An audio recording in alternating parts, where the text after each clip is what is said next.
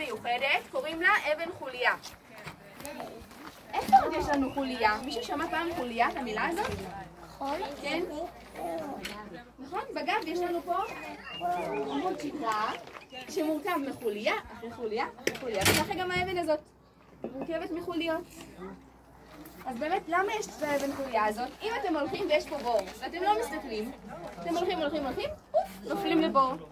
זה קצת מסוכן, גם לבני אדם וגם לחיות, וגם עם גשם יכול להיסחף לנו המון לכלוך לתוך הבור.